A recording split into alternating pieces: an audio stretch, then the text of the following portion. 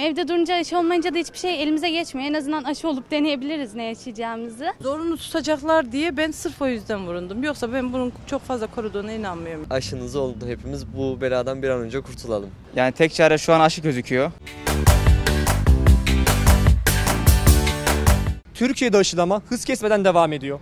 Sağlık Bakanı Fahrettin Koca'nın yaptığı açıklamadan sonra aşılama yaşı 18'e indirildi. Bakalım vatandaşlar aşılama ile ilgili neler düşünüyor? Aşılama herkes insan uygulaması gerektiği bir sistem diye düşünüyorum. Çünkü sağlığımız için gerekli bu. Yani ben kendi eşime herkesin uygulaması lazım. Hiçbir ağrısızı yok. Şu an iyiyim, sağlıklıyım yani. Kendimi zinde hissediyorum. Peki aşı vurulmaktan korkan vatandaşlar için buradan bir şey söylemek ister misiniz? Korkacak hiçbir şey yok. Herkes gelsin vursun aşısını ya. Sağlığımız için. Yani herkesin sağlığını etkiliyor bu dolayısıyla. Aşılamayı kesinlikle bir gereklilik olarak görüyorum toplama. Ee, toplum geneli filyasyon sağlanması için. Ee, bu konuda devletimizin aldığı kararların arkasında duruyoruz halk olarak. Ve biz gençler olarak da bugün geldik aşılarımızı yaptık. Ee, teşekkür ediyoruz. Sizler daha demin birinci doz aşınızı vuruldunuz. Ne hissettiniz? Hiçbir ağrısız var mıydı? Ee, çok ön yargılıydım çünkü daha önce e, hiç bu tarz bir aşı yaptırmamıştım. Acısından çok korkuyordum ama hiç hissetmedim. Sağlık ekiplerimiz gayet iyi çalıştılar ve profesyonel biçimde aşılamamı yaptılar. Bunun için onlara da ayrı bir teşekkür ediyorum. Aşılamadan korkan vatandaşlar var. Onlara bir şey söylemek ister misiniz? Kesinlikle bence Türkiye'de e, aşıdan en çok korkan kişi bendim. Ama şu an o ön yargımı kırdım, o fobimi kırdım. Yani herkese tavsiye ederim, herkesi beklerim aşılanmaya. Herkesi davet ediyorum yani. Toplum için e, bir fayda bu, bir gereklilik. Aşı herkes olması gerekiyor bence. Ben de oldum biraz önce. Ee, yani her vatandaşın görevi bu aslında. Yani aşıdan korkulacak bir şey yok yani. Ben şu an hiçbir şekilde bir sıkıntı yaşamadım. Biontech aşısı oldum. İlk aşım bu benim. Benim de yaşım bu arada 36. Yani bir sıkıntı, bir problem yok. Yani bütün vatandaşların, yani bütün insanların olması gerekiyor. Sağlığımız için eski günlere dönmemek adına bunu yaptırmaları gerekiyor. Valla Türkiye'de aşılamayla ilgili hani Covid-19 mücadele ulusal yani büyük bir mücadele. Devletimiz bununla alakalı büyük mücadeleler verdi. Ee, şu an aşımı oldum. Hiçbir şey hissetmedim. Ee, bütün vatandaşlara herkesin olmasını tavsiye ediyorum. Hep beraber el ele vererek bu virüsten kurtulmak istiyoruz.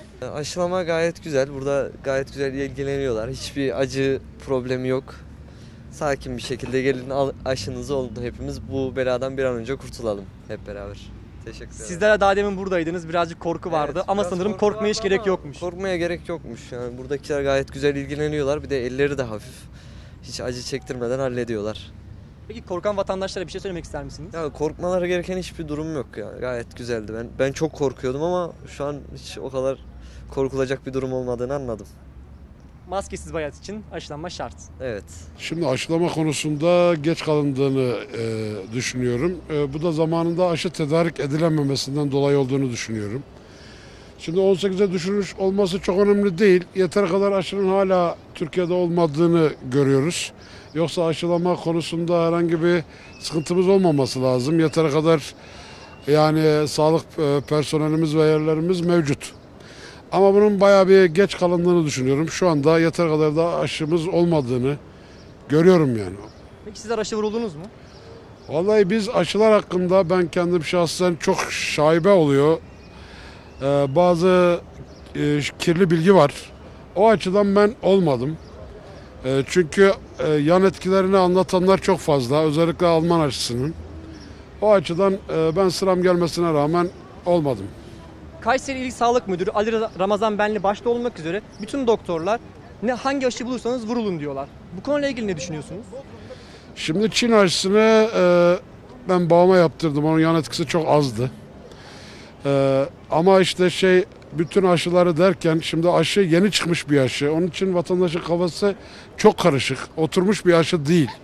Hatta özellikle Biontech e, e, konusunda bize bir kağıt imzalatmak istediler. Biontech şirketi gelecek 10 yılda aşının yan etkilerinin bilinmemekte olduğunu, biz bunu kabul etmemiz gerektiğini söylediler. Ben de böyle bir şeyi kabul etmedim. İnşallah virüsü bitirir. Peki sizler aşı vuruldunuz mu? Yok henüz vurulmadım.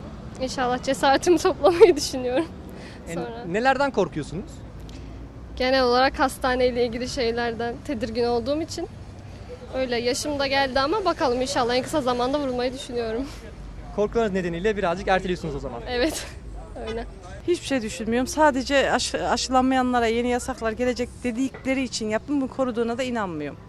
Açıkçası. Ben oldum ama koruduğuna inanmıyorum. Sizler daha demin aşı vuruldunuz. Peki hiç ağrısız hissettiniz mi? Vallahi şu an bir şey yok çok şükür. İnşallah da olmayacak.